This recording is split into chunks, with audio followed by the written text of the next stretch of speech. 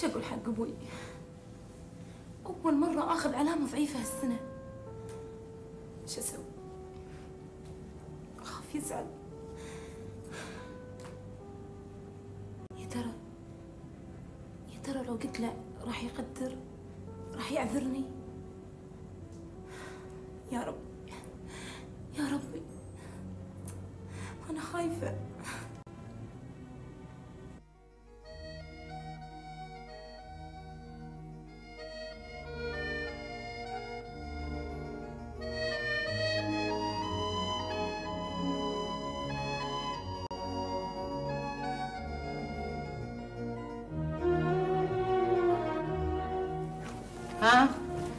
وين على الله معزم يا أبو العزايم؟ والله ما ضاق خلقي وبطلع أتمشى ويا الربع شوي.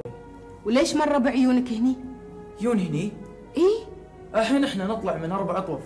ندش بأربع أطوف ثانية. ما يصير يما إحنا نبي ناخذ راحتنا نبي ننطلق نلعب نسولف بدون يعني صك علينا. يا يما هذه أظن ما فيها شيء بعد. يا حبيبي مثل ما أنت تروح لهم خليونك هم هني البيت. أوه إن شاء الله.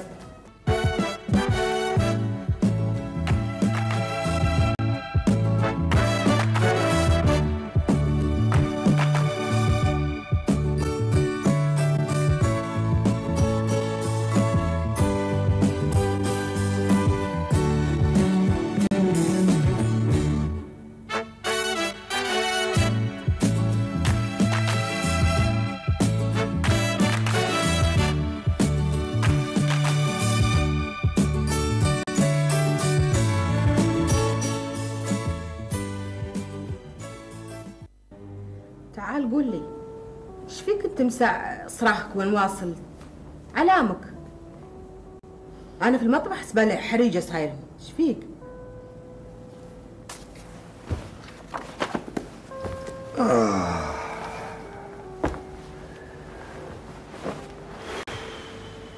والله يا بنت الحلال أنا ماني عارف إيش صاير. هالولد هذا هايت وهالبنت صاكة على روحها الدار. قاعدة تقرأ كنا عندها امتحانات وتسمع مزيقة. ما منها فايدة لا مزيقتها ولا قرايتها اللي تقراها. بعد لو تقرأ القرآن الكريم والتفسير وتقرأ عن أمور دينها كان قلنا يا حيل الله. بعد لو هتي المفروض تي تقعد وياك تسمع أمها إيش تقول تعلمينها شلون تطبخ تعلمينها شلون ترتب البيت. أصبحت مرة الحين وجاهل هويلا عليك. إيش تبي نسوي لها؟ البنية بعد هي صغيرة ما تعرف شيء. والله يا خراب يا خراب بناتنا منكم أنتم يا الحريم بعدها صغيرة وبعدها صغيرة أنا خابر بنات قبل بنات الكويت قبل من يوم عمرها عشر سنين 11 سنة تشيل البيت على رأسها. خمام خبز حلاب بقر حلاب غنم طبخ كل شيء يسوون بدون كلل وملل ولا يرفعون روسهم لابوهم ولا لامهم يقولون لا ما نقدر نسوي هالشيء.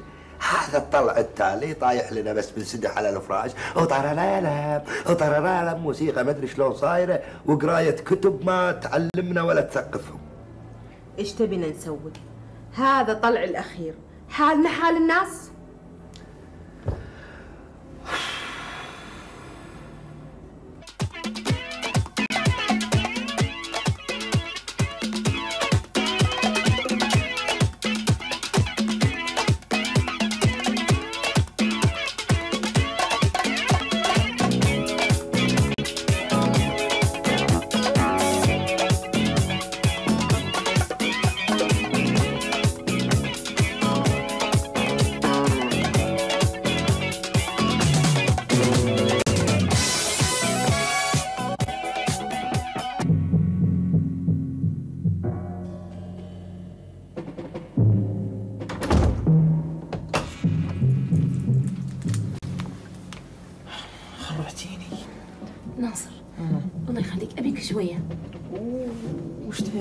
بروح انام ناصر أنا بمشكله وبيك تساعدني. القهر وأنت مشاكلك هذه ما تطلع إلا نص الليل. إيش فيك أنت؟ بروح انام تعبان ما لي خلق. وأنت روح نامي بعد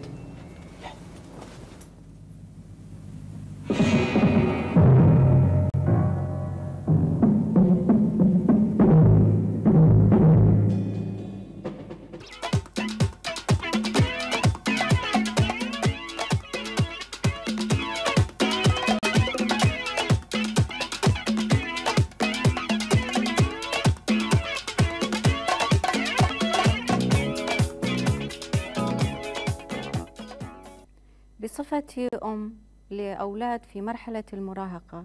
لاحظت أن كل الأولاد والبنات اللي في هالسن يميلون حق بعضهم البعض ودائما يحبون يقتلون في بعضهم لدرجة أنهم ما يحبون أي واحد من الكبار يقتحم عليهم عالمهم الخاص. كثير من البيوت تشغلها هذه المشكلة. أنا من رأيي أن في كثير من الآباء والأمهات لو قعدوا مع أولادهم وتفاهموا معاهم في حل مشاكلهم دائما. مثلا أنا عندي بنت في سن المراهقة. دائما تحصل إشكالات بيني وبينها في البيت. مثلا هي تحب تختار نوع من الفساتين. أنا ما أقدر أفرض رأيي عليها لأني لو قلت لها أن هذا الفستان مو زين أو لونه مو حلو أو كذا أو لا لا تشترينه راح تعمل العكس. لكن أقعد أتفاهم معاها. مثلا أقول لها أنت لون بشرتك كذا يروح عليك اللون الفلاني.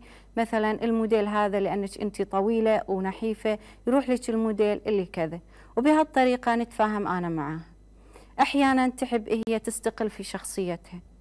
فتقول لي ماما أنا أحب أعتمد على نفسي لأن أنا كبرت وأنا صرت كبيرة ولازم أروح أعتمد على نفسي في أشياء وايد لأني أنا بنمي شخصيتي في الاعتماد على النفس. فأنا أجاملها في هالنقطة هذه وأقول لها دائما إيه، طبعا أنت صرتي كبيرة ولازم إيه، تعتمدين على نفسك في كل الأشياء لكن ناخذ رأي بعض. أحسن من أنك تكونين في رأي واحد ودائما نتفاهم لدرجة أن أنا ابتديت أخذ رأيها في بعض الأشياء. مثلا أقول لها إيش رأيك في مكياجي اليوم؟ أو أقول لها إيش رأيك في تسريحة شعري؟ أو أقول لها إيش رأيك نطلع نروح السوق أنا معك مع بعض عشان أنا بختار بعض الأشياء. وبهذه الطريقة اكتسبت صداقة بنتي وبنفس الوقت هي بعد اكتسبت صديقة ممكن توجهها التوجيه الصحيح. فطومة حلاق. تسألوني هل أفضل الإفضاء بمشاكل الصغيرة لصديقتي أو لأمي؟ آه، أفضل الإفضاء بمشاكل الصغيرة لأمي لأنها كإنسانة لها تجارب أكبر بالحياة فممكن أنها تنصحني إلى الطريق الصحيح سواء المشاكل كانت صغيرة أو كبيرة. هدى عبدين بساسو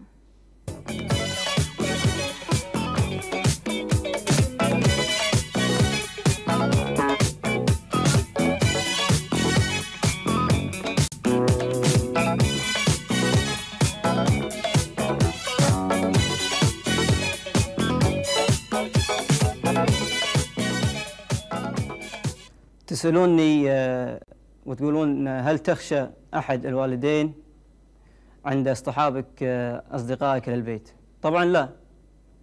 اصطحاب الأصدقاء يجب علي أولا آه، أن أرافق الأصدقاء الطيبين الصالحين اللي أقدر أتماشى معاهم طبعا. وإذا كان في البيت عند اصطحابي لهم يجب أن لا لا نطلع إلى عن خط عاداتنا طبعا عاداتنا وتقاليدنا في الدين وأن نتطبع في عاداتنا وتقاليدنا في الدين مرة ثانية. آه، طبعا هذه أشياء لازم على كل واحد أن آه، يتغلدها أو يصير فيها أو يسير آه، في الطريق هذا. طريق طبعا الصح والدين. ويجب علينا أول شيء أن أن نمشي في طريق الدين آه، مثل ما قال الرسول صلى الله عليه وسلم تطبعوا في عاداتكم وتقاليدكم في الدين. آه هو في الواقع السؤال هل يمثل ابن هل يمثل انصراف ابنك مع أصدقائه قلقا بالنسبة إليك؟ هذا في الواقع سؤال آه واسع جدا ويحتاج لا شك إلى إلى فترة زمنية طويلة للإجابة إليه. لكن بالإمكان تحديد بعض هذه النقاط أو بعض تحديد الإجابة في بعض النقاط آه، على شكل مختصر أو بصورة موجزة. الحقيقة هناك بالنسبة للعلاقات آه، الاجتماعية بين الأفراد أو بين الرفاق يجب أن تكون لها حدود ويجب أن ترتكز على أسس آه، واقعية وسليمة. هذه الأسس يجب أن يعرفها الأب وتعرفها الأسرة تماما بحيث أن لا يترك العنان للابن لأن ينقمس بأي طريقة كانت مع أصدقائه دون أن يعرف الأب أو تعرف الأسرة آه، الخلفيات أو المشكلات الناجمة عن هذه العلاقة بين الأب وبين الرفاق الآخرين. فعلى سبيل المثال يجب أن تكون هناك معرفة تامة بهؤلاء الرفاق أو بهؤلاء ال- الأبناء الآخرين الذين يرتبطون مع هذا الابن بعلاقات مختلفة. لا بأس على أن تكون الحدود حدود العلاقات الاجتماعية آه، ضيقة في حدود أن يكون الأب عارف تمام المعرفة كيف يوجه وكيف ينظم هذه العلاقات الاجتماعية. أن باستمرار أن يتابع الابن ابنه بصورة مستمرة وأن يقدم له النصائح والتوجيهات الضرورية لتوجيه سلوكه بالصورة الذي يراها آه، مناسبة وملائمة ومطلوبة. الواقع أن الأبناء في سن المراهقة آه، هي في الواقع مرحلة غاية في الخطورة وتحتاج إلى وقفات كثيرة من الأب لمراجعة تصرفات وسلوك الابن في آه، أي موضع وفي أي موقع هو يعمل فيه. ففي الواقع هناك آه، تصرفاته داخل إطار المدرسة يجب أن ترتكز على متابعة مستمرة من الابن لهذا الابن بالنسبة للرفاق الذين معها مع ابنه في المدرسة أو في الصف. كأن يكون على اتصال مستمر مع إدارة المدرسة ومع الناظر ومع الموجهين ومع المرشدين التربويين في المدرسة. يقف معهم ويحاور معهم بصورة مستمرة المشكلات التي قد تحدث آه، نتيجة لهذه العلاقات التي يبنيها الابن مع رفاقه سواء داخل المدرسة. أيضا في نفس الوقت عليه أن يتابع العلاقات التي قد تنشأ مع هؤلاء الرفاق خارج المدرسة. وفي تصوري أن هذه مرحلة صعبة جدا على الأب آه، أن يكون في منتهى الحذر في أن يتابع الابن خارج المدرسة لأنه هناك في عدة عوامل وعدة عناصر تتحكم في هذه العملية آه، يشكل صعوبة بالغة متابعة الأب, الأب, لابنه. على أنه في حاجة ماسة فعلا إلى أن يتابع الأب, الأب لابنه خارج المدرسة من خلال آه، العائلات الأخرى ومن خلال معرفة الأسر الأخرى ومن خلال معرفة الأبناء الآخرين الذين يتعاملون مع ابنه. لا شك أن أيضا على الابن أن يعرف حدود هذه العلاقات. وأن يكون أيضا على حذر ودراية تامة بالمشكلات التي قد تنجم مع آه، آه، بناء أو بصورة أن يحاول أن يبني علاقات مع الآخرين آه، دون أن آه، يوج- يوجه بصورة مستمرة ودون أن يسأل الأب أو العائلة آه، عن أنماط هذه العلاقات وكيف يسير فيها وأبعادها آه، ومشكلاتها آه، في الواقع أيضا هناك يجب على الابن أن يلتزم أيضا بالنظام الأسري أو بالنظام العائلي الذي هو يعيش فيه. هناك في لكل أسرة نظام معين ال- الأب عليه أن يوجه الطفل لهذا النظام بصورة مستمرة. لا أن يتركه على يترك الحبل على الغارب بأن يتركه يذهب ويعمل كيفما يشاء وبالتالي نجد على أن نتيجة هذه العملية أن الابن بدأ في الواقع لا يلتزم بالنظام الأسري أو النظام العائلي الذي رسم له من قبل والديه في البيت. كأن يلتزم بالمواعيد وأن يلتزم بالتواجد في البيت وأن آه، يلتزم أيضا بالدراسة والمثابرة آه، لدروسه وواجباته وعليه أن يقوم بهذه الأعمال بصورة مستمرة. لا شك على أن آه، هذه بعض الجوانب التي بالإمكان أن آه، تجاب أو تطرح كإجابات لهذه الأسئلة. ولا شك مثل ما قلت على أن هذا السؤال جدا واسع ويحتاج إلى إجابة مفصلة وطويلة جدا.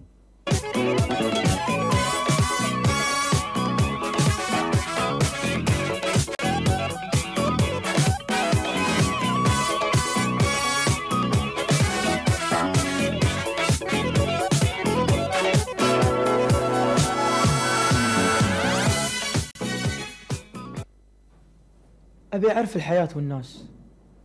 أبي لي ربع. أبي أعرف الدنيا أكثر. شلون أقول حق أبوي عن مدير نفنف عاجبني؟ ولا بنت تغار مني. أنا بنية وأبوي ريال. بس شلون أقول حق أبوي عن مشاكلي؟ شلون؟ وين الخطأ؟ وين الصواب؟ وأيهم أصوب وشلون نربي عيالنا على الطريقة السليمة؟ آه، تعتبر مرحلة المراهقة من المراحل الحرجة في نمو الفرد. إذ أنها تقع بي بالوسط بين مرحلة الطفولة ومرحلة الرجولة. فلذلك نجد في هذه المرحلة يحتاج الشاب أو الشابة إلى مجموعة من الرفاق يشاركون في اهتمامات معينة. آه، هذه الاهتمامات تختلف بحسب حاجات ال- الشاب في هذه في هذه الفترة. آه، قد تكون الاهتمامات آه، اهتمامات اللعب أو غيرها. فلذلك نجد أن ال- الشاب في هذه المرحلة يبحث عن مجموعة من الرفاق. آه، يشاركون هذه الاهتمامات حتى يمارس شيء معين وهو الاستقلالية عن الأسرة. استقلالية الأسرة هذه لا تتم إلا عن طريق الانتماء إلى جماعة آه، في ال- المجتمع نفسه. في الواقع كثير من الآباء والأمهات يوجد عندهم نوع من التخوف إذ أنهم يعتقدون بأن انتماء ابنهم أو بنتهم إلى مجموعة معينة يؤدي إلى تقلص في السيطرة على الأبناء بينما هي ظاهرة طبيعية تحدث في نمو المراهق في هذه المرحلة. فلذلك ال- الحل للوصول ل أو لزيادة الثقة بين بين الأبناء والأبناء وال- والآباء هي من ضروريات حتى يتم الاتصال بشكل مستمر وحتى لا يبتعد الأبناء أكثر عن عن أولياء أمورهم. هذه هذا الاتصال يجب أن يكون ليس على شكل آه، محاضرات أو على شكل مواعظ كما هو يحدث لأن المراهق في هذه المرحلة يكره هذا النوع من ال- الاتصال اللفظي ويحتاج إلى نوع من الاتصال الشعوري وهو الإحساس إحساس بمشكلاته الخاصة وحتى يتمكن أولياء الأمور من زيادة الاتصال معهم.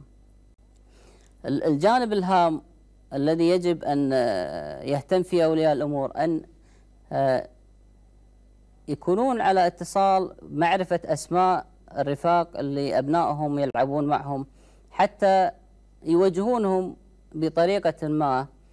آه، بطريقة ليس فيها مس لكرامتهم أو مس لشخصيتهم في هذه المرحلة التي يحتاج فيها الشاب أو يريد أن يثبت فيها رجولته إذا كان شاب وتريد أن تثبت فيها أنوثتها إذا كانت فتاة.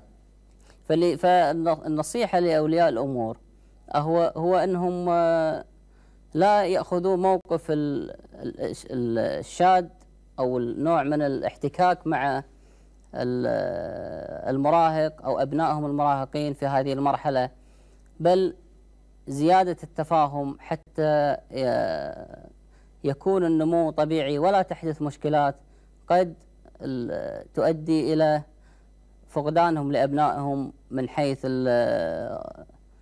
معرفة ما يدور خارج البيت. آه، الدكتور عبد الرحمن الأحمد كلية التربية جامعة الكويت.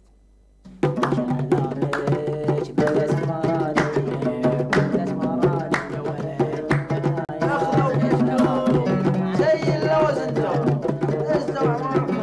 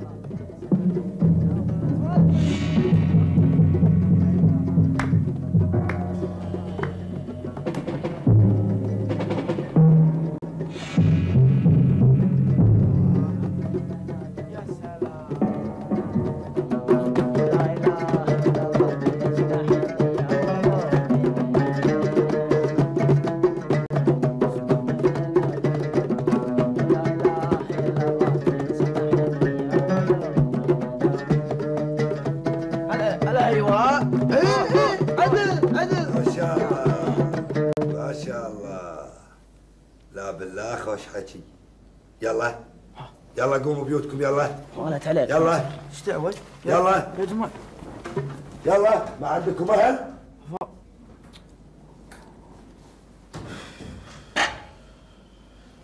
وانت يا نصور. أفا عليك يا أبو كفا. قالب بيتنا محل السمرة. ضاقت فيكم هالدنيا الوسيعة هالبران وهالبحور والحدايق. ما لقيت إلا بيتنا تقلب فيه سمرة. حنا من صرنا بهالفريج ما طلع حسنا ولا الجيران اسمعوا حسنا تب تفضحنا قدام الله وخلقه وجايب لي خمة مقعد بيتي. قاعدين تسوون فيها سمرة؟ والله يا يبا والله يا يبا ما عرفنا لكم. أمي تقول يب ربعك البيت وأنت تقول ليش حقه يا يب خمت هالبقعة. يا يبا والله ما عرفنا لكم.